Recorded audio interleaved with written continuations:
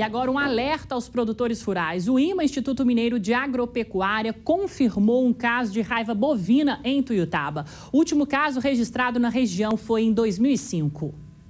A propriedade rural fica a 30 quilômetros de Tuiutaba. No local, quatro animais morreram entre os dias 7 e 25 de dezembro. Destes, em dois foram feitos os testes para detectar a raiva bovina. Um caso foi confirmado e o outro aguarda o resultado. Há nove anos não eram registrados casos de raiva bovina em Tuiutaba. A imunização contra a doença não é obrigatória e não faz parte do calendário de vacinação do IMA.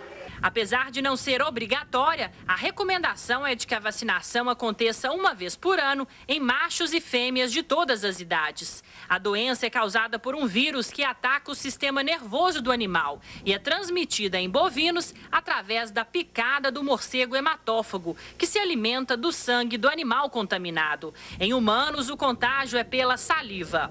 O principal sintoma é a prostração. De acordo com o IMA, a propriedade não será interditada e o produtor rural não será penalizado. O principal prejuízo é a perda do rebanho. A prevenção através da notificação de mortes de animais pode ajudar a combater a proliferação da doença. Já foi comunicado aos confrontantes para que realizem a vacinação dos seus animais, uh, bovinos, eh, equinos que uh, houver na propriedade e também está sendo feito uh, o monitoramento dos abrigos que nós temos conhecimento para verificar se há a presença de morcegos hematófagos.